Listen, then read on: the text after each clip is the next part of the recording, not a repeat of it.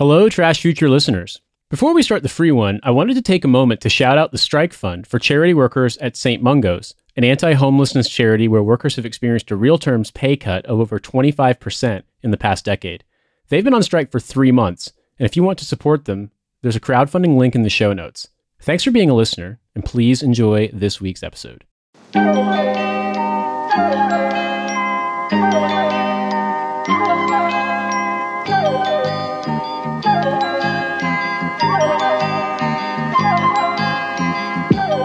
Hello, everyone, and welcome to this free episode. It's the free one. It's the free one. Thank you, Milo, for your able assistance there. oh, I, I don't get anything from that. You're, you're welcome.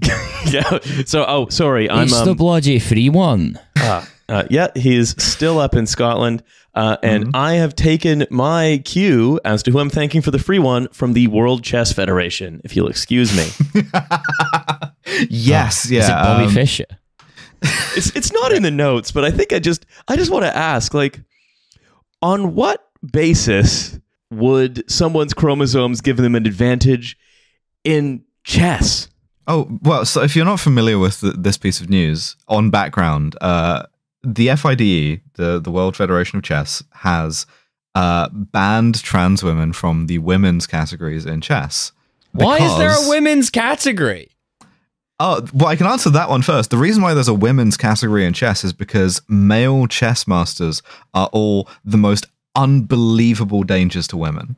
Um, Oh, okay. like it's up there with the pure mathematics in terms of places where you can sort of like sustain yourself while not knowing anything about how to interact with anyone, but especially women.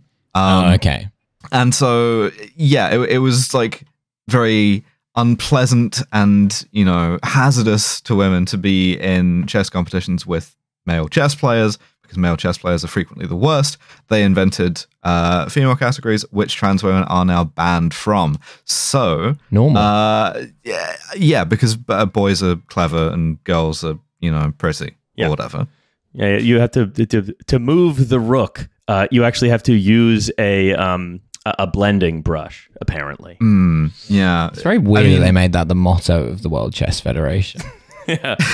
Anyway, I, I'm I'm forced now to sort of like um only play in the women's bracket of the Netflix Queen's Gambit official board game rather than chess. yeah, uh, you're gonna have to go into the um the, the women's only bracket of uh competitive StarCraft two.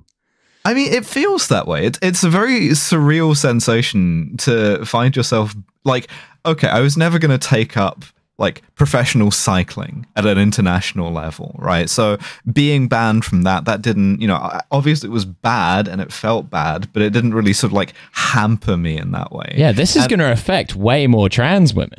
What? Yeah, Chess is a trans women ass activity. going to say, yeah, but uh, no, it's not that I was going to like take up chess again exactly. It's more that like now it's reaching into stuff that is not even a sport. And it just sort of like stuff that I wasn't even beginning to take seriously.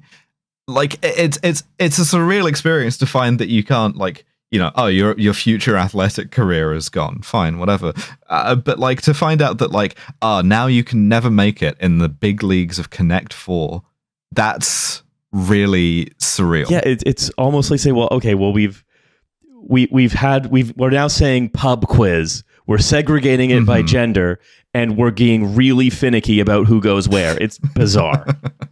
Yeah. I I was I was doing like pub quiz doping, you know. yeah, what was that? Just where you have your phone? yeah, no, no, yeah, no. yeah. It's it's like you do all of the same stuff as like cycling doping, where you have the like legions of doctors. You're getting injected with stuff that's Yeah, being made yeah. in a lab at like a sort of like You're governmental threatening all the whistleblowers. Yeah, exactly. In order to remember, you know, the Mm. date that the French Revolution started for one Yeah, point. and- and- Yeah, yeah. It's where basically you go to the top of K2 and you get a guy to ask you a bunch of uh, pub quiz questions, which is obviously harder because of the oxygen deprivation. And then you have some blood taken out of you. And then right before before the pub quiz, you have that blood injected back into you, and then it makes you better at pub quiz. yeah, yeah, yeah, exactly. All right, all right. Yeah, I, and also some estradiol for good measure. I, I, I want to go into our uh, our actual Yeah. sort of planned content we have for today. Um, now for the synthesizer round, uh, the trans women are going to be asked to leave the room for this bit. um, so we've I, I wanted to share some updates on two old like two probably of our best friends on this show. Hmm. Not Matt Oh, Hancock. Patrick Wyman. Other no best topics. Patrick. We Oh, don't okay. discuss the comings and goings of Patrick Wyman. At least not of the episodes that I'm on. like Just doing a sort of like fan episode that's largely about Patrick. It's it's sort of like very uncomfortable to listen to. Yeah, a pa- an episode about Patrick would certainly be very large. yeah. Mm, he did arms today. No, I'm talking about. I'm talking about. Um, the podcast that goes directly to Riley Reid and the podcast that stalks Patrick Wyman. Patrick, if you're listening to this, I'm sorry, uh, but I want to talk about Jan Marsalek. That's right. Oh, that's a guy he we love too. Yeah. yeah. Former okay. barrel inhabitant Jan Marsalek No. is back. international man of mystery. Yeah. Probable neighbor of Gerard Depardieu, Ma- Jan Marsalek. Yeah, international cylinder inhabitant Jan Marsalek. Oh, so the very much alive Jan Marsalek has popped up again. Which is a great way to have someone start. A man who is aspirating. Uh, yeah. has Oh, uh, popped up again. And this was sort of shared to me by um, by uh, some listeners to the show. A, a few people have tweeted this at us.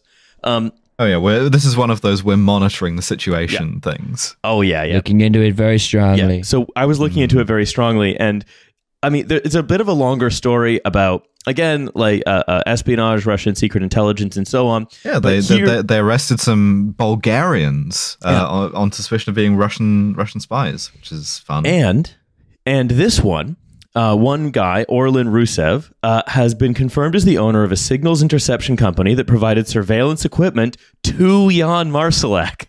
See, there's a couple of things going on here, but the main one that I'm thinking about is buying your own spy equipment. Seldom a feature of the James Bond movies. You never really had to see Bond in Q's lab like fiddling with to you know, like get his card out, you know? Well, this would be austerity Bond. Like Bond now has, you yeah. know, the school teachers are buying pencils, and James Bond is buying his own Rolex.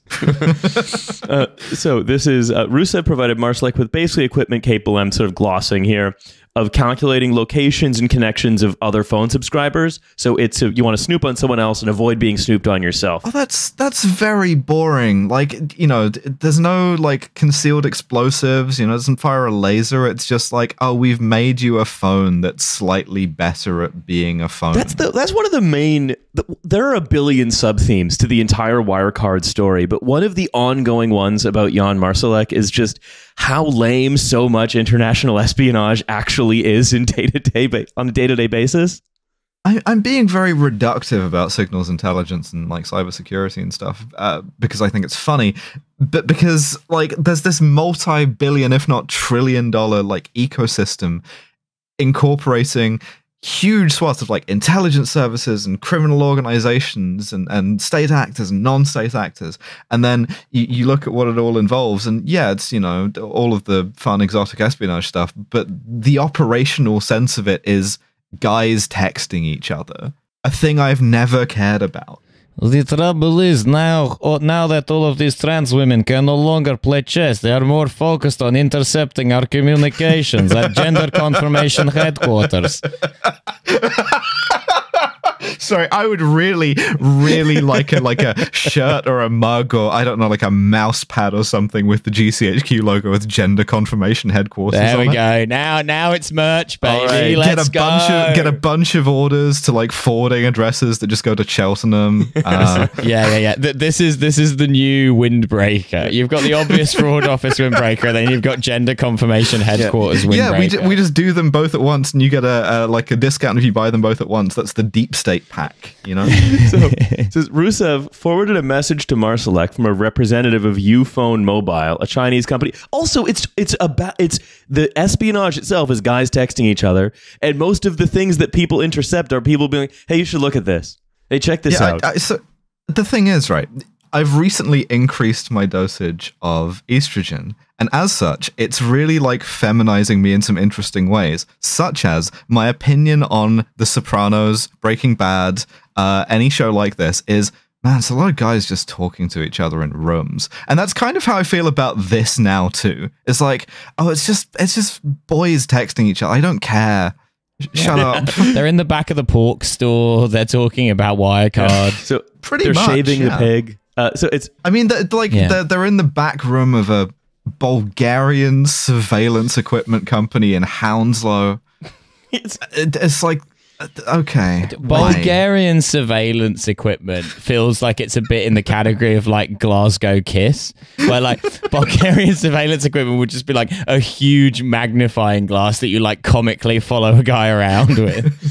so Rusev mentioned the company offered top-notch personalized solutions and had placed a, a- Well, 'cause an order for a quote. Yorgi Yeah, go. Markov, Yorgi Markov, the guy who got like uh, got with the ricin umbrella, that was the Bulgarians too. I seem to recall. So maybe, what if the Bulgarians just have like one trick and it's everything is umbrella mounted, and the Bulgarian surveillance equipment is like a big pair of headphones hooked into the like handle of a long umbrella. Oh no! And then and then the listening device is the umbrella goes reverse and it looks like it's blown up with the wind, and then you just pointed it where you want to listen. Parabolic. Ah, clever, clever. Um, yeah. It says, and they already placed an order for a quote exceptionally durable phone with exotic features, and and and gave Marsalek a quote exotic device, but it's just a Samsung push button phone with anti-surveillance phone firmware that could track other mm. mobile phone Listen users. closely, 007. If you press this button here and here, large quantity of explosives will detonate in your Samsung Galaxy Tab. Thank you. I noticed that there was Bulgarians on the plane, but it was just someone trying to charge their Samsung Galaxy S7. But also, it's like I, I want Jan Marsalek to have been like given the physics from Just Cause. Like I, I don't want him to just have like a phone Well, that- that's that he- extra good. Yeah, but also, he still would have had to buy it himself. Yeah, but he can. So it's like, yeah, no, fully, but like going to work, like I I have purchased infinite parachutes. Uh, it's like, come on. because the, the the other thing is he's he's not a spy No. at least not in that sense he's Yeah. not like employed by the russian government like the bulgarian guy is. He's just uh, like he's an agent. He's an asset and he's buying his own shit that's embarrassing I had to buy this very expensive phone because of my lifestyle. You see, it's very hard to get signal inside of an oil drum. It's like a Faraday cage. Well, the, the thing is, the faraday barrel What reminds yeah. me, Yeah. what Jan Marsalek reminds me of, it his because if you look back in the Jan Marsalek story, it's a guy who is clearly hmm. ridiculously excited to be, who have been contacted by Russian intelligence. Right? This is Yeah. Sure. this is a guy where the best Finally, little old me. yeah, like the best day of his life is where he got to feel like a spy. And like he went to Libya with all the Gucci gear that would just get him shot immediately. Uh, or no, Syria with all the Yeah, Gucci same. gear. Um, he bragged about having the recipe for Novichok to impress. So he didn't want to be a spy. He wanted to have been a spy. Yeah, it's it's not a Nigella, is it? That one. Like the ingredients are quite hard to come by. deliciously sinful novichok Yeah. uh it's, I, I mean If you've got a good us? Asian grocer near you, it's worth a visit to get the right stuff for Novichok. Like some people try and approximate it with cayenne pepper, but it's really worth getting the real gear. Yeah, if you can't find sort of like cholinergic compounds, store bought is fine. Um, Yeah. b- uh, But like, whomst among us? We would all be like this. Maybe not with the Russians necessarily, but if someone was like, you know, made you an offer to go be a super spy and you're, you know, you would 100% take that offer purely to be like, no, it was crazy. They gave me. You know, uh, special devices. They gave me the cool watch, But- but, but then they don't give you the cool because watch. it turns out no, exactly my point. You you'll be disappointed because it turns out you just have like a phone. Yeah. You know, it, it has an app on it that you know lets you like spy on men slightly more interestingly. It's like Yeah. Boo. Boo espionage. Uh, I have another. Mm. I feel Everyone at cheated. Sailor's Gay Sauna has this app. It's not secret at all. yeah, it's got exotic features. It has Grindr installed on it. this is like the plot of an episode of Archer. You're going to need to find him on Grindr. It's called Tradecraft Genius. I blend. I, I had another quick uh, uh, news hit for us up at the front. um, before we do the startup and then get into the main content, which is another best friend of ours. Lex Greensill is back in the news. One Australian oh, man. oh, Let's go. Yeah. We really are checking in on our blokes today. These are like some of hmm. our favorite. If Matt, I mean, Matt Hancock released a funny TikTok, but we'll have to talk about that another time. Um, yeah. because these, if it's Marsalek, it's Greensill, it's the classics. I have a phone with some exotic features that has this app called Matt Hancock MP installed on it it. tracks all of the thoughts of one British MP. That's right. Uh, morning zoo sound effects. We got Lex on deck. It's time to flex the Lex. Uh, so, What's the Lex report? so uh, as the the ongoing series of lawsuits and insurance finagling over of the collapse of Greensill is going to be going on probably for most of our lifetimes. Not finagling. Yeah. And uh, a new piece of information. This is part of a dispute that, if you remember, what happened with Greensill, what caused it to collapse, is that Tokyo Marine, an insurance company, bought their credit insurer and said to the one guy who just authorized way too much credit insurance for all their risky shit, "Hey, what was this?" And then he immediately quit. Um, this, and that- Tokyo Marine is a movie that John Cena will be in eventually. it will, and, and you know what? I'll watch it. But yeah. Uh, anyway, so Tokyo Marine now having taking on this insurance company now is responsible for quite a bit of like those insurance claims. Now has to like try and avoid paying as many of them as possible. And this is from the FT. It was brought to us, of course, by uh, brought to my attention by Robert Smith. Um, uh, They Greensill call him the K Wiggins of the London office. Greensill Capital charged an unreasonable and excessive fee for arranging financing for NHS building projects and then deliberately dis- uh, avoided disclosing this facts. Now, getting into the actual nitty gritty of what this was is has a kind of funny conclusion. Um, so ba- the reason that the um, insurance company would argue this is if it was unreasonable and wasn't like supported, it, it had no business justification, then they could say, well, we're not paying out the claim because this was clearly fraudulent. Um, So basically, they're arguing that Greensill is responsible for um, misrepresentations and non-disclosures in relation to financing for CatFoss, a company engaged in building a bunch of NHS hospitals throughout um, Derby, Dorset, and Essex, Milo's beloved Essex. And oi, oi, lucky. and Yeah. here's the first thing that I thought was incredible. But it wasn't so lucky for them. For Adam Curtis voice. for 15.3 a 15.3 million pound lending facility, CatFoss paid Greensill a 10.4 million pound fee. Oh, I mean, th- you don't need that money to build the hospital. Is the main thing. Well- um, Well, Alice, it's funny you say that because you literally don't. That hmm. Greensill, in one case, was continuing to advance funds and get those funds insured, like those advances insured, even though that particular NHS trust had been completed years previously in January 2019, well before Huh. the collapse. wait, so they, they were billing to build a built hospital. That's well, they were billing to finance the construction of a built hospital. Yes, That sounds so legal. I don't. I don't. I, look, I'm not a, a, a, a legalist, but I don't No. think it is. Maybe I'll defer to I, the I- lawyers. listen, I, I think I think that maybe this is as you know someone who's having some legal troubles of his own. Uh, President Trump once said, "I think this is very legal and very cool." Um, it clearly like raises no questions to just be. Uh, everything in this country is scams, and I uh, next uh, next week or so, um, when when you're on sabbatical, I, and you know I'm left to do an episode, I plan to talk about some scams uh, and the sort of scam based economy. And this is just like you know another one on the pile. It's not even a particularly egregious example. It strikes me. Mm. Well, it's like it's like it's the I think this wouldn't even be egregious, and this like you know shows how the state that we're in. I think that this is just sort of work a day, just like, yeah, Yeah. defrauding the health system, or whether by sort of um hugely overcharging a fee that's two thirds of the of the um, the structuring fee that's two thirds of the value of the loan, or um, just like continuing to structure finance and take fees for a construction process that's already been completed. Um, that's so small potatoes. But just the fact that every time I think about something to do with Greensill, I think about the fact that the guy who was the main sort of hope of one of the parties to retain the two major parties to retain relevance, like David Cameron, was so embroiled in this and just nothing happened.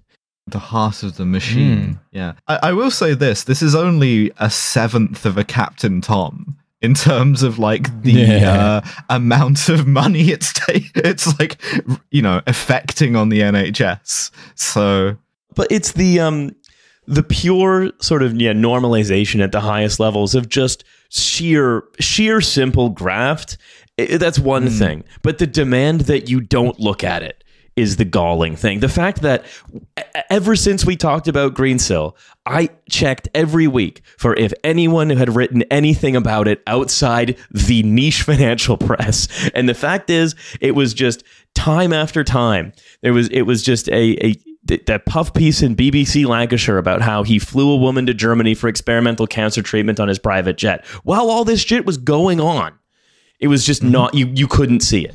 There was no one interested in seeing it really outside a small group of obsessive weirdos, Has- of which we were one. kind of like wealth um density that sort of like bends light around it. Mm-hmm. You know?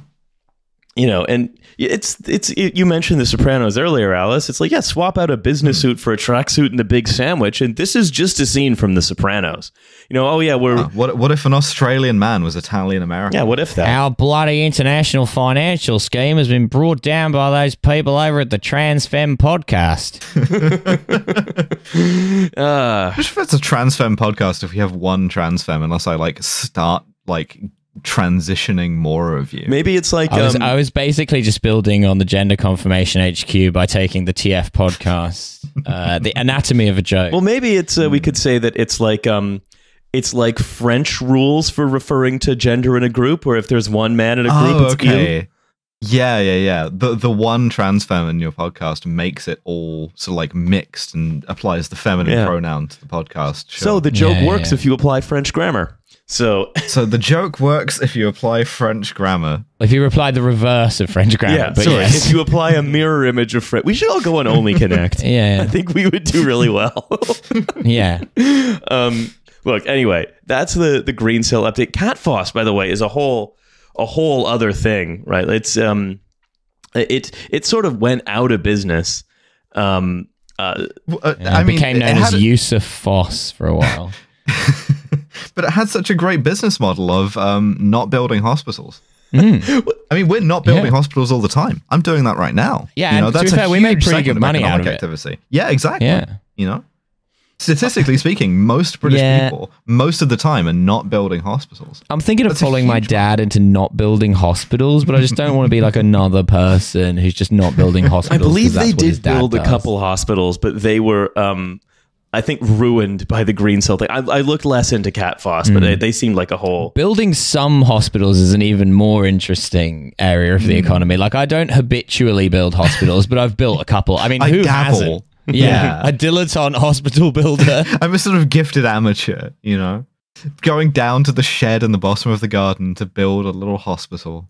yeah, yeah. Guy who looks like George R. R. Martin, whose thing is building hospitals in his spare time. Yeah, you, you remember when your dad used to like have to move an entire MRI machine and like an intensive care ward into the shed to finish out his hospital in there? Uh, look, I, I don't want to go into Cat Foss now. It might be worth going into in more detail at a later time, but I want to ask you two about four dot screen. F- a four dot screen. Four dot screen. We connect people in a fragmented world. Uh, ooh, interesting. I, I mean, we've already had the literally a bunch of phones taped together thing, and that wasn't even four screens. That's like five. So it, it, it can't be that in a sort of like closer physical sense. Um, Hmm. What do we think? Uh, uh, how about this? But uh, Milo, before you guess, I'm going to Okay. say what their values are. This will probably clear right. it right up. I'm sure it will. Yeah. What we believe. uh-huh. Think big and be bold. We have ambitious goals and take bold decisions. Two. Hmm. What are those goals, you might ask? They're not stated. ta- well, the goal is to take the driver's seat. We take ownership, strive for excellence, and apply best practices. Oh, and then okay, it's called four screen, and then it says four, the digit four, everyone. We've Oh, no. we value our Clever, diversity okay. and proactively help each other to succeed while having fun and celebrating progress. What- Also, at this I've, point, I I've been hit with a horrible, horrible hunch. Yeah. I- I'm, I'm shrugging my big detective trench coat. okay. on. Go ahead. You got your When- Bulgarian surveillance equipment with you. That's right. When you used the expression "the driver's seat," was that in the copy? Yes, yes, it was. This is in-car something. That it is. Yes, it is in-car something. It's it, it was a literal driver's. Yeah. It, does it like put a screen like in your steering wheel instead of in your center console? Not the steering wheel. No. How about this? Let me tell you two more things. Number one, it's a German company, and uh, it touts as it's one of its investors, Matthias Muller. Fear screen. Right, yeah. it was uh, it w- touts as one of its investors, Mathi- Matthias Muller, who was CEO of Volkswagen until 2018. Inventor Oh. of the corner. yes. Okay. I wonder yeah. what scandal could have possibly. Anyway, Well, I heard actually he got a lot of family obligations and needed to take more time to to spend with them. well, he needed to go and visit his cousin who now lives in that barrel in Russia. no. Uh, for the fourth one, four wins. We succeed by adding sustainable value to all four players, who are drivers, mobility partners, businesses, and ourselves. We connect. Ability. Is Does it, it- put ads on the outside of your car like a taxi? I'm gonna just give this to Alice. It- uh, Yeah. You've seen the in-car screen that you use to navigate, right? of course. it puts ads on the inside of your car. Yes, that's right. No, what? What? No, Yes. you can't. But but you're you're trying like at least in a, in a like a, a black cab, right, where they have the ad screens. It's like, oh, have you considered getting a black cab? And you go, clearly yes, because I am in one. Like the guy Hmm. driving it isn't seeing those. But if you're just in a regular normal Yeah. style car, Mhm. then and it's like hooked to the like center console thing, which is already extremely distracting. Then you you would be you you'll get an ad that's like, have you considered driving a car for the car you're already driving, and you just sort of like plow into a wall. Or something. Yeah, well, maybe you should have considered driving. Mm. It's sort of more like a bully. Like, hey, consider driving Yeah. a car. Nice drive, no drive, and you plow into a wall. And then you start thinking about driving a different car and you crash your car into well, a wall. Uh, Alice, I want to respond to what you said with the fact that they create truly connected cars for seamless journeys and bring to life a network of businesses, drivers, and mobility partners. So you might want to reconsider. journeys have seams?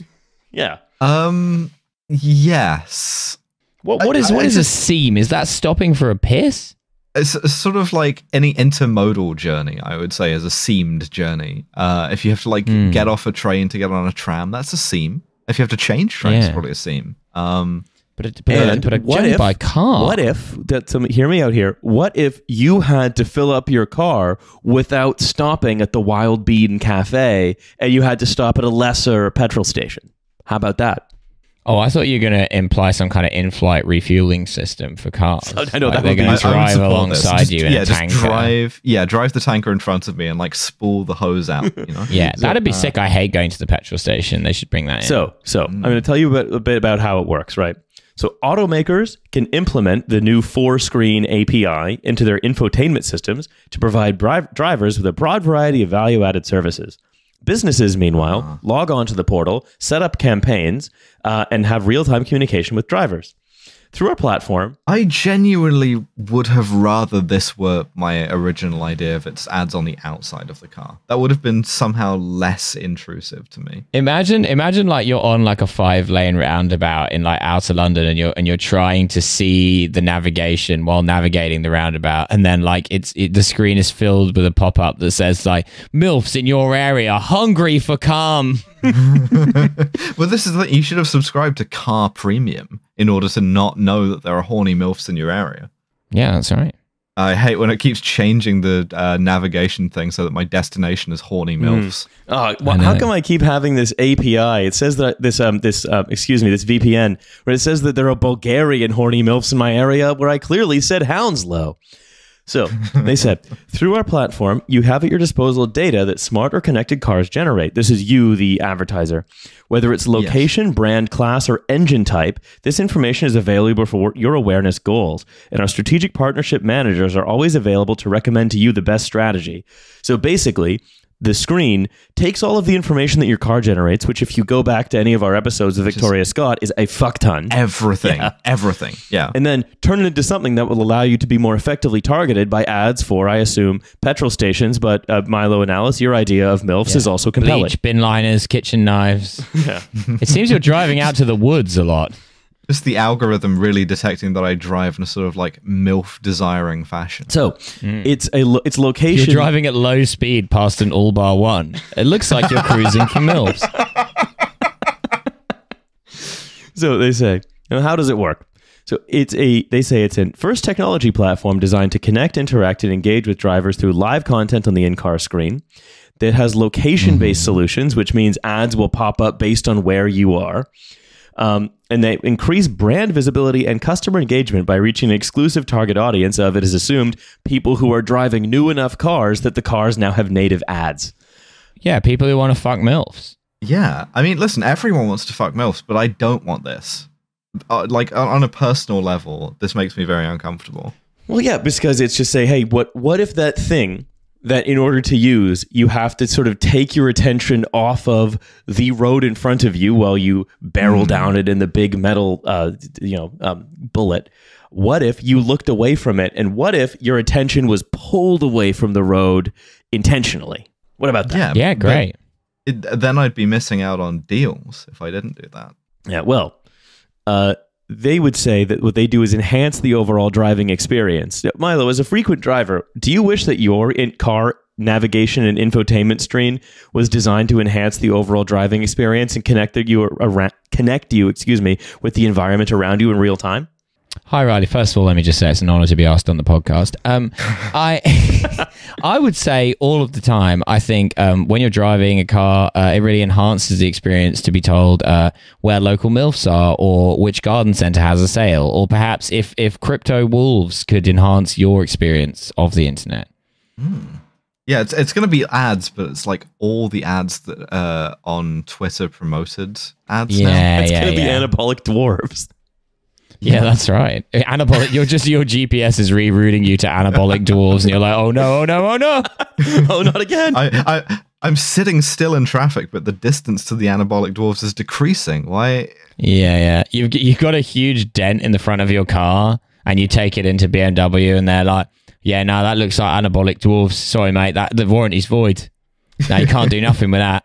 Well, they're anabolic, you see. Were it a regular dwarf, wouldn't be as much of an issue. But it is it is in the owner's manual that the car is not is not resistant to anabolic dwarves. So, um, yeah, I mean, if you, if you were if this were a Japanese car, you'd probably be all right. But no.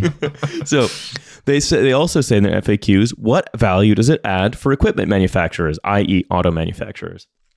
Connected cars generate billions of data points, which auto manufacturers are unable to fully leverage. To which I would say, good. They're my data points. I would like to use them, please. Um, So, oh, oh ye of little faith. You know, if you think that they're not able to leverage these things effectively. This means that every vehicle on the road is a business opportunity that can create added value for automakers and drivers. Uh, where car manufacturers can finally use these data points, bridging the communication gap between drivers and their surroundings. Milo, as a frequent driver, do you wish that something would bridge the communication gap between you and your surroundings that didn't necessitate you rolling down the window and shouting? Riley, allow me to just say, uh, first of all, thank you very much for asking me on the podcast. And um, uh, yes, I, I routinely think, what if you could use the infotainment system in your car to connect to the infotainment system in another driver's car and call them a fucking wanker who should learn to drive? I actually do think this. That would be the one service that I would use. Yeah, sort of like doing like watchdog style, like car hacking. yeah, yeah, exactly. I, I, I just I just really want to salute uh, Milo Edwards for coming on and like racking up the number of like guest appearances that we've had per episode. You know, Yeah, yeah, Previously, yeah. it's only been one, but now we're, we're up to two. And who I'm, I'm in the Sky's limit. lounge with Wyman now. Mm. Yeah, you guys got lampshades on your heads. Um, so it says, Yeah, me and him are making a podcast about Riley. This offers a next level driving experience with improved navigation and relevant recommendations while monetizing the data. Finally, the driver's experience is at the real core for us. Our API is seamlessly integrated in the navigation system, while our communications follow all privacy and security regulations. I love when an advertiser thinks about me. I, I, I we, hate. we follow yeah, and what they say about you is we are obliged not to break the law. yeah. We follow all the privacy regulations, uh, depending on your jurisdiction. If you're in America, good luck. Well, here's what it does for drivers is that because I I'll, I'll give you I've been mostly talking about the FAQs of this company because it's really funny to try to watch them twist and pirouette around. We found another way to comp- to compel people to be spied on. Would you like to monetize that for your gas station? Well, not just Yeah. being spied on, but combining that with a sort of like uh, startup that flashes a torch in the eyes of like one person in a hundred driving at any given minute. You know? Yeah, yeah, yeah. The startup is called Laser Pen, and uh, it's a thing that attaches to your car infotainment system, and it shines a laser pen directly into your eyes while you're going 80 miles an hour on the motorway. Yeah, but it's a it's a Morse code to subliminally get you to turn off into the services and have a Toby Carvery. Yeah, yeah. It's actually to discourage speeding. The faster you go, the more lasers it shines into your eyes. so lethal. yeah. And we can't see any problem with it. Or we're trying to combat speeding. We can't see any problem with it, or indeed anything at all. Hmm, That's sort of a right. Blurry haze. Yeah, it gives you LASIK while you're driving. Drivers can easily find and interact with their favorite brands or services and, and receive customized offers from businesses along the route. Never before have drivers been able to explore the car surroundings and discover relevant content as they do now.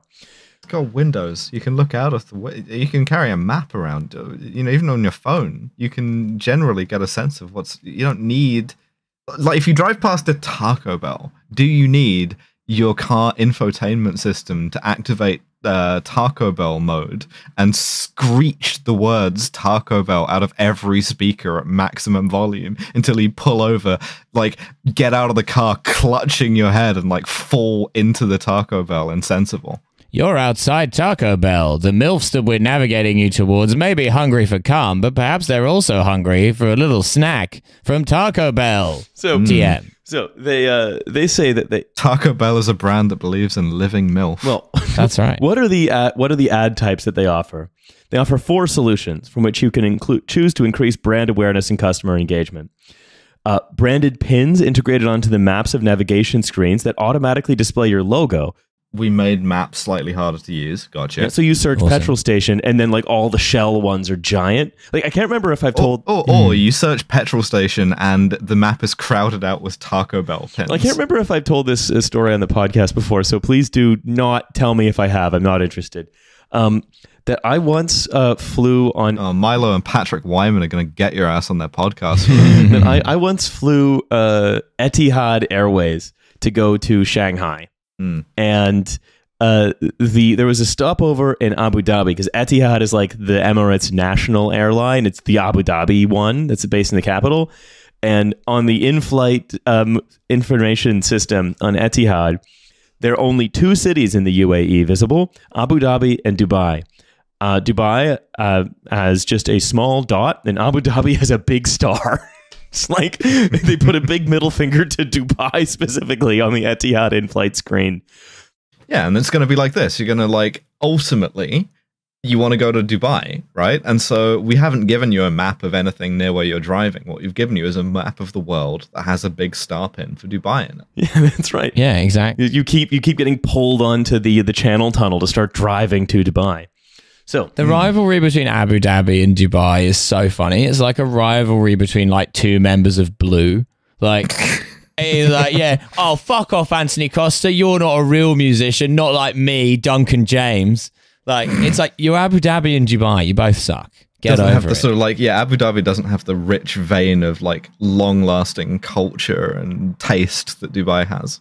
Dubai has never had the city on lockdown. Actually, can I a brief sidebar about when I fly on Emirates? My favorite thing about Emirates is they have in-flight podcasts which play automatically when you connect your headphones to the infotainment system. And so while I'm choosing a movie or whatever, you end up just listening to the but they're all like puff pieces about Dubai where it'll be like a guy with a very BBC voice doing a very serious interview um, with a guy called like Wank Norstrop, who's been in charge of opening like Dubai's first ever Michelin star hot dog stand. And he and he's like, so why did you want to bring this really exciting project to Dubai? And he's like, well, I love Dubai because it loves the future and it loves anything that's pushing boundaries. They're not stuck in the past unless what you mean is to do with laws and women's rights. But broadly speaking, they're in the future and they want things like a hot dog with a foam. This is something you can do in Dubai and this is why people come from all over the world to taste a hot dog that really it makes you confused. He's like, thank you so much. I'm not even exaggerating. Like this is what they're like. Like I wished you could download them because we could do a whole series where we just review the Emirates airline podcast. Like they're so fucking. You do good. Realize, we should try and get hired. We gotta we gotta try Yeah. and get them to like uh buy us out. or at least Mm. do like a tour to somewhere that Emirates flies, and then Hmm. we can just that that can be the tour. Australia. the live show content is just a review of the Emirates. Like I will spe- listen to all of the Emirates podcasts and transcribe. Okay, new Australian tour idea. TM can't do it. Copyright. Yeah, we, we just try and like the corporate mooch era. I've been trying to gin this up on Well There's Your Problem as well, where I've been trying to bully the tourism board of San Diego into giving me a free holiday. Um, so if we can combine those two, then When are we gonna get an ideal. Emirates flight Perfect. from London to San Diego? Yeah, we could Oh, check out just a long glamorous San. Diego. all right, all right, all right. I want to I want to finish this up and then get into the main stuff. Um, search ad makes your brand appear as a top search reco- result in the uh, in the in-car location search list. So they basically you can use the in-car search function to look for a business category they need, and then you just pay to put yourself at the top of the list. You're in the car. You search restaurant. It shows you Taco Bell. You search hospital. It shows you Taco Bell. Um, It shows you the hot dog stand in Dubai. Yeah, Also, they can get recommend. Also, like if your fuel gets low, then an ad will pop up being like, "Hey, consider Shell or what? Consider Taco Bell for your refueling needs." Hmm. Um, and then also sometimes legally, we can't tell you that if you squeeze a volcano burrito into the uh, petrol tank, it will continue to run. it'll Uh, run faster if anything. Yeah, Hmm. Yeah, you're giving your car the shits. Or Your car's like, oh, buddy, I shouldn't have eaten that. in-car solution. In-car offers you See, to this is the, I've played myself here because we were making fun of corporate product placement, and now I've just really made myself want Taco Bell. and probably at least a couple hundred other people. Yeah, genuinely. it's in your mind, Alice. Fuck The me. calls are coming from inside the it's, house. it's almost as if I'm constrained by a sort of invisible uh, structure of capitalism. You know, Last one. Last one. That's why in Dubai we've built this huge structure, but it's completely invisible. Um, in they actually built the superstructure from Yeah, that's Yeah. right. Yeah, yeah, yeah. they built the vampire castle, yeah. the world's first real vampire castle in Dubai. So, Hmm. uh, in-car offers allow you to promote your business and communicate deals to your customers via their screen. The solutions are displayed to the driver when the car is turned on or after an interaction with a branded pin or search result. You can use them to offer vouchers or discounts that are ex- displayed in the in-car screen. So yeah, it's like if you click a, an ad once, then it will just pop up you again with like, "Hey, check this out." Well, this has been a horrible experience. Thanks so much. Oh yeah. There was genuinely one of the Dubai podcasts was about something called the Museum of the Future that they've Oh, built in God, Dubai. Yeah. and and he was like and then it was this guy being like you see because other cities they're very focused on the past which is why they have regular museums but it's why people come to dubai because we love the future. And that's why we've built this museum of the future. And honestly it's one of the most visited sites in dubai. The tickets are booked up for the next three months in advance. So if you want to visit the museum of the future please do book and it's just like but what can possibly be in there uh like flying car model you know uh, Yeah. a bunch of like failed Japanese startups toilet. yeah exactly i mean i'd love to go to dubai uh to sort of have a horrible time and sort of question Hmm. the vibe uh but you know uh, there are a few reasons why that might be not a great idea for me right now want to go there and open up a fish restaurant called Exactly, Mohammed bin I'm- salmon exporting the like Glaswegian fish and chip shop to dubai um I, I think they'd really get a kick out of it So, Mr. Begbie, please tell me, why are you so passionate about bringing the deep fried Mars bar to Dubai? well, I think people in Dubai have always loved experimental fusion cuisine. And so we've taken the traditional uh, tempura batter of Japan and applied it to the British Mars bar. Anyway, anyway, that's four screens, uh, and boy, is four screens for me, and probably for you at some point when you eventually buy a car that was made this year. every new car sold with an orb Yeah, yeah, it's it's just a sort of a flat orb, isn't it? You have to you have to like put the orb into the passenger seat in like a baby seat. I've got to go to the car moil to get the four screen taken off my BMW. so, uh, I'm afraid it's time for another one of the uh, trademark TF jarring shifts in tone. Um, Oh boy. Yeah, as we As are. we begin the Dubai podcast. no, I'm afraid jarring shift in tone the other way. Uh, Oh. As we talk about the um, conclusion to what the press has decided to call Small Boats Week, um, and the Tories uh, focus on basically being as cruel to uh, refugees and asylum seekers as possible to please the 5% of people whose um, preferences are actually listened to in British politics because the rest Yeah. of what is appropriate to look at has been completely ossified. Yeah, and they've they've somehow, even on their own extremely favorable terms, managed to fuck it up. Um, and this is why Labour's sort of like uh, thing is we're going to deliver all of the same horrors, but managed competently because the Tories are not managing them competently, as we'll Have see. you ever wondered what if your horrors were better managed? Would you like to consolidate all of your horrors into one easily manageable monthly horror? what we're doing is we're failing to imagine the man-made horrors, and as such, they remain resolutely within our comprehension. Small Boats Week is a particularly vulgar expression, Yeah, I, have remem- to say. th- that episode of Bake Off was a really sort of like strange experience. So I'm going to give a little bit of background here. I'm going to give a little bit of background here for our non-British listeners, um, which is that the Conservative government uh, has decided to, because housing people in like terrible, like flea-bitten, bed-bug, uh, unhygienic hotels at great cost to councils because councils aren't funded to have like dignified welcome centers for refugees, obviously. Um, that had proven to be too expensive and got Daily Mail readers an extremely high dudgeon. Um, and so, of course, the government's decision You was can't to do that. Their blood pressure's already like fucking compressed gas. Mm. But because part of it was genuinely that if you say hotels, uh, your average like newspaper reader in this country imagines some sort of like five star jacuzzi thing because they've never stayed in a hotel in Britain. Uh, Yeah. if you have stayed in a hotel in Britain, say for instance, if you're a working comedian, you are aware that almost universally they are shit. Yeah, it's a it's a plate glass building with a conveyor belt toaster underneath a portrait of Henry VIII for some reason. Oh, lucky if you get that. I mean, like, uh, Yeah. so much of this is just sort of keeping nominally like one and two star hotels that are just like former B and B's in business, despite their lingering like mold issues or whatever. Um, and like genuinely, it's been a case of like stashing people who have escaped, you know, the worst tortures imaginable in, uh, you know, like a terraced house in, you know, Hastings or whatever, just like some city, some like some town that just happens to have hotels there because no one is staying in them, and just going, yeah, that's that's that's an, a sector of the industry now. We hmm. can just do that. That's hospitality. Well, Taking people who have escaped the worst tortures imaginable and to add insult to injury, making them stay in a British seaside hotel. Yeah, genuinely. well, that I mean, that is true. The point of this is to add insult to injury, right? Yeah. The second worst torture available. Yeah, but right, and this and that many of these hotels are unsanitary. They are uh, often infested, and even then, like not to sort Provi- of- provide an extremely like obvious target to the far right.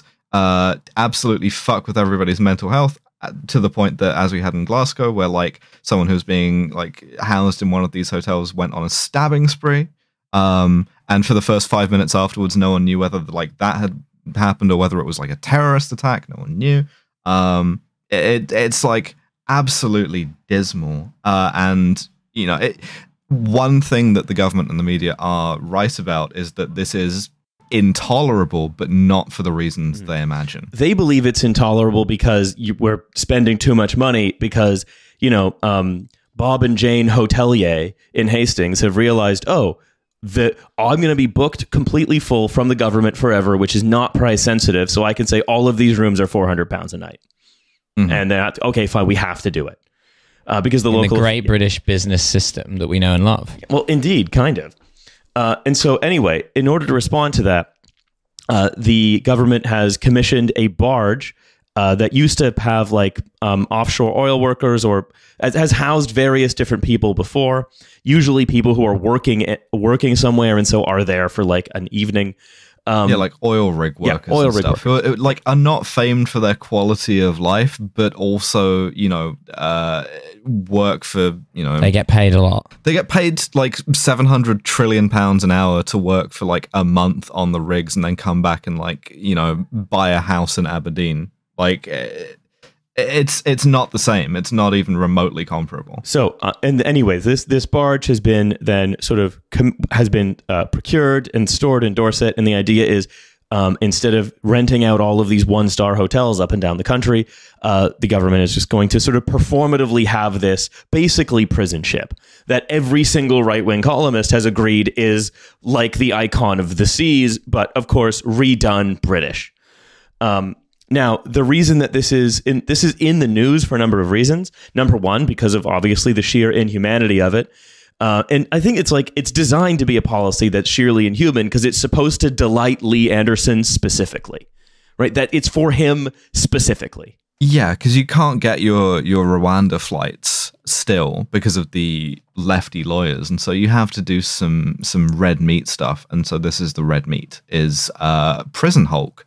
Lee Anderson, who, and I talk about this in my show every day, once said, My grandfather fought the Nazis and he would be proud to turn back the migrant boats today. So it's good to know that it's a man doing this with a firm grasp on history and why we did certain things.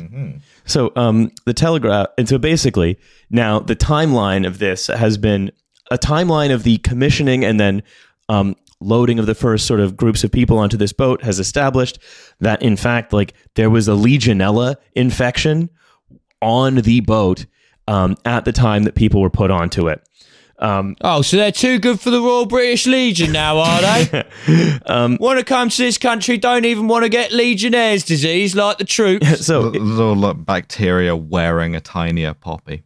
It was it confirmed basically that the and everyone at that point said, "Oh, it's the duty of the barge contractors to operate the barge safely." No, it's the duty of the local authority to inspect the barge. No, actually, it's the duty of the home office to ensure the barge is safe. And as per usual, the political questions aren't why do we have the fucking barge? It's when did minute oh did Suella Braverman get this email on Monday or Tuesday? It's it's hmm. basically just like an, an outlook audit as opposed to a question substantive question of why we have the barge. Because fundamentally when questioned about it labor said well yeah we'd have to keep the barge i suppose. I mean we have this barge so what are we going to do? Not use it?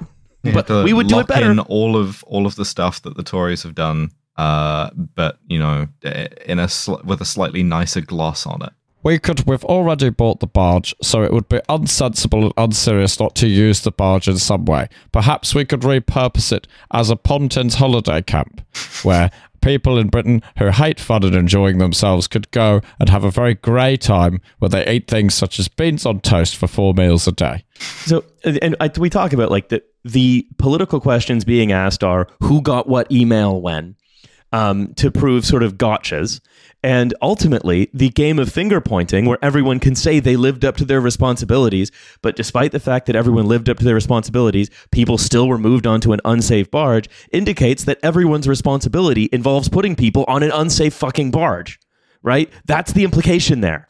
you can sort of like there is a sort of like a quotidian use to this in the sense that like in much the same way as the Rwanda deportations where it's like in order to stop this from being enacted in order to stop it from going on you have to do this kind of like very annoying uh missing the point where actually you haven't checked all of the boxes on this form where you want to do the like brutal thing thing uh as a means to an end sure that's fine as a sort of like locus of public discourse, no one has been saying, "Oh, you know, this is uh, a national disgrace," right? Which it is. Um, it feels a bit like concentration camp commandant at the Nuremberg trials being asked about stuff and going, "No, I was technically catering. You would have to ask the health and safety guy about that." pretty much, yeah. Uh, I mean, I, I have a sort of a theory about this, about the over uh, like overarching politics of this, and indeed, you know, Rwanda and uh, you know pushbacks in the channel, all of this,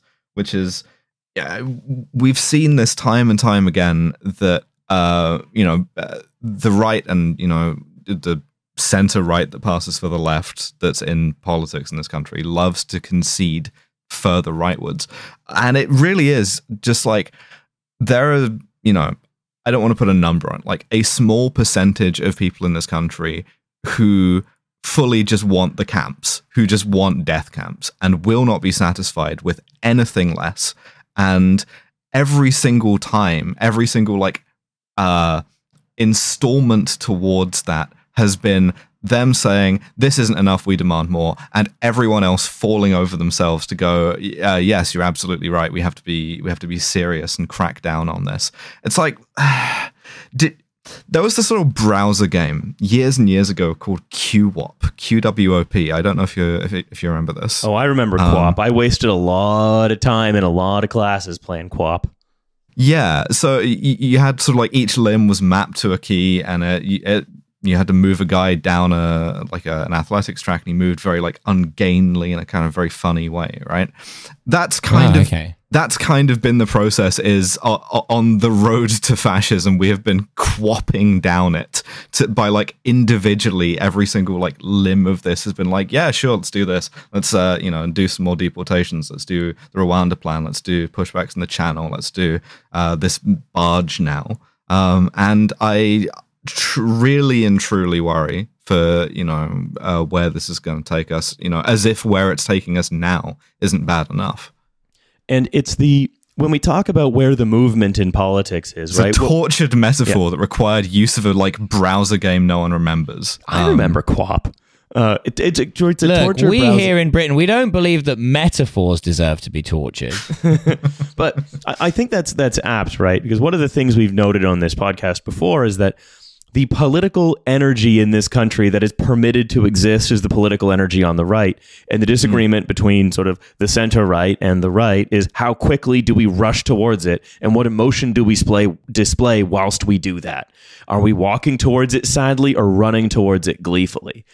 mm. And here we're just kind of like tripping towards it. You know, we're just Yeah. kind of like stumbling. Britain is like a surveillance video of a guy on ketamine who's forgotten how to walk. I'm playing QWOP, but I'm doing it and shaking my head so that people know I'm doing it solemnly and only because it is the sensible and grown up thing to do. Not because I'm enjoying it. I've never actually enjoyed anything. Just ask my wife. So if um if we look, I, I pulled a few quotes about this. Right, there's the Lee Anderson one where he says anyone that's complaining about the standard of this luxury accommodation, which again I want to be clear, right, from someone who lived on it, who wrote about it in the National in Scotland, said, look, the rooms I stayed in were like a cabin on a ferry. There was a small single bed, and if you were sharing a room, it would have been with someone doing the opposite shift. The rooms were small and clearly designed for sleeping in, not living in. These are these are people being forced to live in rooms that aren't designed to be lived in. Or yeah, oh yeah, it has all these wonderful facilities that again, like the um, Lionel Shriver took pains to point out in her a Spectator article, but where other people are saying, oh well, actually, you're very restricted. You can't really go to the, the lounge. You, you you can't really go to the dining hall if you want. You're very restricted as to when you can leave, and even if you can leave, you can't work and can't get any money. So what the fuck are you going to do? Right? You're just going at Center Parcs during the Queen's funeral. yeah, and you just have to you just have to sit in a 12 by 12 room waiting for an indefinite amount of time, essentially just um in in prison, effectively in prison. A prison where you're technically allowed to walk out, but where then the society you get into has been designed as a prison to keep you out of participating in any of it. So mm-hmm. the idea that this is luxurious is you know, frankly insulting, but is designed to keep this same 5% of people who are the laser focus of everybody in the political mainstream in this country engaged and more importantly incensed so that they'll demand further movement that the ship must be worse. Maybe the ship should be the ship should sink periodically. I don't know. But It's the ship of Theseus, but you can only take bits off of the ship and you're not allowed to put anything back to replace them. Yeah, I mean, mostly I just feel like anyone who believes that you know any any sort of like uh, asylum seeker is living in luxury presumably lives in this country presumably is aware of you know uh, the things that happen here i would struggle to believe that almost anyone just on the numbers lives in luxury in this fucking country like uh, how much luxury do we have going around that you think the government is just dispensing Well, again, it's it's crabs in a bucket, right? Like the Tory party trades on like, look how shit your life is, mm. and, and and and these asylum seekers aren't even being murdered. Look at that. Like, I mean, I think basically, right, there are three positions you can have on this, right? You've got loony, loony, unrealistic lefties like us who think that perhaps putting asylum seekers on a prison ship isn't the way forward. And then you've got the Labour Party who think that, um, you know, the, the, the, the asylum seekers should be put on a prison barge, but in a regulated way. And then you've got like the 5% of people who are in charge who think that we should put them on a, on a prison ship and then sink it. Like those are the, those are the three opinions that you can have. And and this is what Starmer says, right? Well, not Starmer, but this is Stephen Kinnock, who's the shadow uh, immigration, said we'll be left with no choice but to deal with the mess that we inherit, suggesting they wouldn't decommission the barges and wouldn't give a timeline on when they would. And then James O'Brien saying, look, we have to remember that Starmer is trying to get elected in a country where people are regularly posting laughing emojis on stories of drowned refugees without, of course, himself investigating the role of his radio station and why people might be fucking doing that. You know, it's, yeah, and and also like, uh, since when are we letting those people decide things? Since when should we? And like, fucking, that's not that many people. If you'd like actively poll people on this, it's most people are not like this. Um, and it's it's just absolutely a case of the tail wagging the dog in terms of this kind of extremism. Well, I mean, I say this in my show. If you take the average person in this country and assuming that they haven't had, you know, the Daily Mail injected directly into their brainstem, and you ask them the question, what do you think about asylum seekers in the channel? I don't think their response would be, oh, I do hope we're drowning them. Like that, that's you only, that's an insane thing to think. Yeah, and and the, the other thing is, everyone knows that that's an insane thing to think. Everyone in every form of media, in every political organization. Uh, I, you know, the Conservative Party. I'm not saying that they have a, a like a secret better nature. Quite the opposite. I'm saying that they know this is insane. Almost all of them know better than to like believe any of it.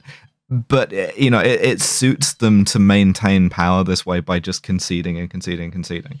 Um, I don't know if that's worse, but it's certainly awful in a different way. Mm-hmm. And a thing which I don't say in the show because it would complicate the logic too much is that in a way that Lee Anderson can't possibly understand, he is sort of onto something when he says, My grandfather fought the Nazis and would be proud to turn back the migrant boats today. Mm-hmm. Because, you know, despite what a lot of people who read the Daily Mail think, during World War II, our attitude to Jewish refugees from Europe who were fleeing literal death was much the same. Mm-hmm. oh yeah, absolutely. Yeah. And the fact that there is so much agreement on stuff like this is why it always really irks me when there are like polls done by newspapers asking which leader of a party would you rather go to dinner with because that's all that's left between them. It's the, look the we're gonna have the barge. There's no not having the barge. Be yeah, realistic But the question is, which prime minister who is currently overseeing the barge would you hit a savory vape with? Yeah, which which current candidate for Prime Minister of the UK would you rather be imprisoned on a prison barge with? Now, I'm feeling like Rishi Sunak would maybe be better at helping you manage your asset portfolio, but Keir Starmer may be more fun to have a real ale with. I, I would say to to like live on the barge with Rishi Sunak, both quieter, keeps to himself more, also takes up less space. So it, it's got to be That the, is the true. rational rational decision. You could make up Rishi Sunak a little bed inside your suitcase, like a like a foundling. Um, yeah, I, I love that Terry Pratchett story about the uh, Rishi Sunak who lives in the department store. Um, well, Guys, I'm s- I can't get out of this suitcase. I mean, thank you for the cozy bed, but it's very hard to climb over the side. I can barely see. I can't reach the porthole. Please. Just I I I it, it's all wrong. It's all backwards. T- take this out of you know Devon, put it up the Thames, moor it next to the Houses of Parliament, and make MPs live on it. Like it, it- you you do not need an expenses paid London flat if you live on the river adjacent to your work, and apparently it's perfectly adequate. Get in the barge. Someta- somehow it's 1500 PCM for a room on that. Yeah, looking forward to my new career as barge landlord. well, just go going around like having your rattling your truncheon on the MP's cages. Yeah, well, no, sort of like Look. I, I'm in the bathroom. I'm like pointing at a, at a patch of sort of like green mold, and I'm like, that's not Legionella. yeah. Well, yeah, stop ringing me up about the Legionella on the barge. Look, it's because you're drying your clothes in your room. so by the way, Painting over the Legionella. those poles I, I mentioned, uh, those are real polls. Uh, with 33% of people saying, surveyed for the Mail, said they'd rather go out on the town with Keir Starmer. Only 25 would go out with Rishi Sunak. oh, damn. Well, yeah, who would you rather have a Jaeger bomb at all bar one When with? you say go out with, are we saying that Keir Starmer is like more fuckable? Hit the town, I Yeah. think. Surveyed by Yeah. the Mail? What, are you gay? Yeah. Uh, yeah, yeah, yeah. yeah people, just you, just going, just like, oh, are we? Have we just built a floating concentration camp? They're like, yeah, forget about that. Would you have a Toby Carvery with Keir Starmer? Which, right? Would he? Would he go for the gravy first or the cauliflower cheese? Look, this is important. Like, would he take a big Yorkshire and put all of the roast inside it, or would he have a couple of small Yorkshires on the side? All right. I, I, I think I can't have the big Yorkshire. I'd become trapped inside it. I'd drown in the gravy. it's becoming more Richard Ayoade the more I do it, but I enjoy that. yeah, that's right. Anyway, anyway, I, I, I think that's probably a, as good a place as any to leave it for today. Mm. This is a criminal political establishment. It's I can't reach the buffet. I left my little step at home. It's a criminal political establishment, but some of the voices. and we're taking them all to Toby hmm. Carvery. That's right. We're well, putting all of Parliament in a big minibus and we're taking them to Toby Carvery as a treat. Help! I'm trapped in the custard. we wanted to take them somewhere else, but our car ma- a navigation system keeps going back to Toby Carvery. it's only only Toby Carvery has taken them up on the sponsorship deal. Oh fuck, we should have done that instead of Taco Bell. I'm fuck, I'm so stupid. Anyway, anyway, um, I think that's about it for today. Uh, thank you for listening to this free episode. If you want to listen to more episodes of the podcast, of course, there is a bonus episode. Uh, it's five dollars a month on Patreon, and there's also ten dollar episodes if you want extra Britannologies or Left on Reds. Alice and I are going to record Left on Red this weekend. Um, That's right, we are. Help, help, I'm drowning in content. I got into the Trashfuture Patreon, but I can't climb back out. Uh, I'm legitimately still quite angry. yeah.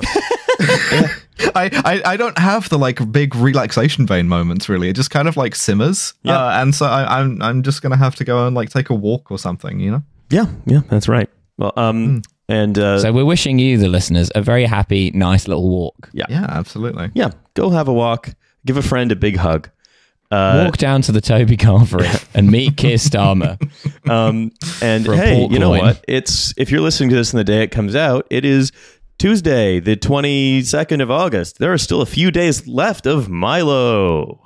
Mm. Second five star review today, cunts.